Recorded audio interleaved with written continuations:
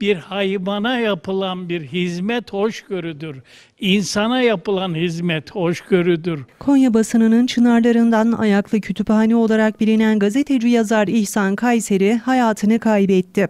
Birbirimize hoşgörüyle bakmak zorundayız. İhsan Kayseri Konya'nın en eski gazetecilerinden. Tercüman ve Güneş gazetelerinin büro şefliğini yapan, daha sonra dönemin adıyla Doğan Haber Ajansı ve Anadolu Ajansı'nda çalışan önemli bir değerdi. Ayrıca İhsan Kayseri'nin hayatının anlatıldığı Ebul Vefa kitabı da Konya Büyükşehir Belediyesi tarafından yayınlandı. Merhum İhsan Kayseri 25 Haziran Cuma günü saat 10'da Meram Uluırmak Mezarlığı'nda toprağa verilecek. sürdürülecek.